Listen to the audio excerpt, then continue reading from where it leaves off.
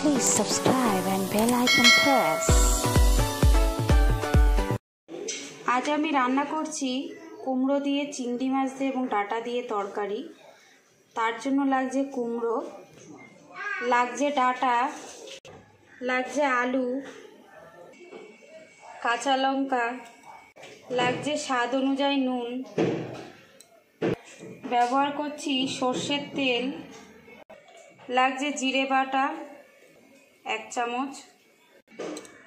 আর নিচ্ছি চিংড়ি মাছ।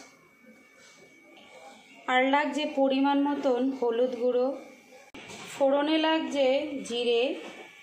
দিচ্ছি একটা শুকনো লঙ্কা। আর দেব তেজপাতা। চলুন শুরু করে দিই। আমি কড়াইতে তেল দিয়েছি পরিমাণ মতন। তেলটা গরম হয়ে গেছে। দিয়ে দিচ্ছি তেজপাতা, শুকনো লঙ্কা আর জিরে।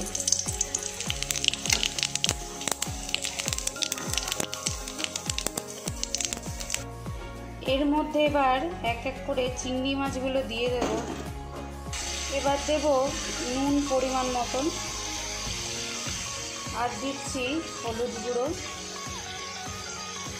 দিয়ে আমি এটাকে ভেজে নেব।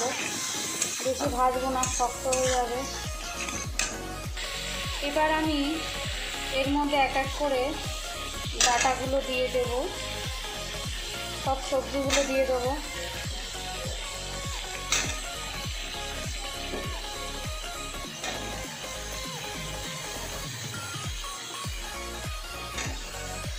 সবজিগুলো দিয়ে দিয়েছি।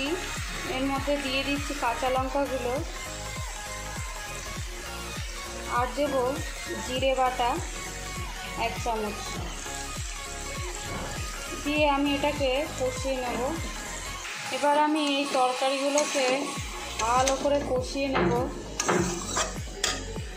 আমি এটাকে ততক্ষণ পর্যন্ত কষাবো যতক্ষণে মশলাটা ভালো করে কষে না যায়। মোটামুটি পাঁচ মিনিট পর্যন্ত কষাতে হবে।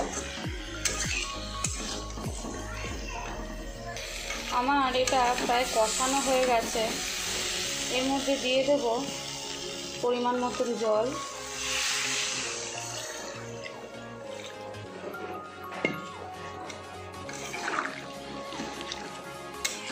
দিয়ে এটাকে রেখে সেদ্ধ করে নেব।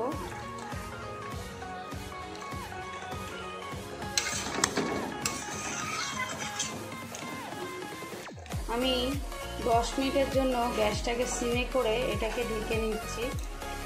এটা দশ মিনিটের জন্য রান্না হতে দিচ্ছি। আমার দশ মিনিট হয়ে গেছে। দশ থেকে পনেরো মিনিট মতনই টাইম নিয়েছি। এটা সেদ্ধ হতে এবার গামলাটা তুলে দেখছি।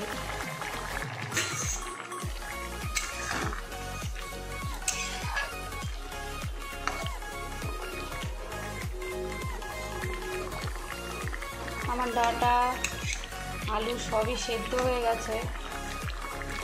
নুনটা চেক করে নিলাম। তরকারি আমাদের রেডি হয়ে গেছে। এবার আমি নামিয়ে দেব।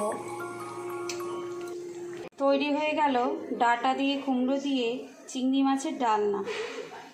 তো আপনাদের এই রেসিপিটা যদি পছন্দ হয়ে থাকে, আমার চ্যানেলটাকে প্লিজ সাবস্ক্রাইব করবেন লাইক করবেন কমেন্ট করবেন শেয়ার করবেন। নমস্কার। pretty lies. Look me in the face. Tell me that you love me Even if it's fake.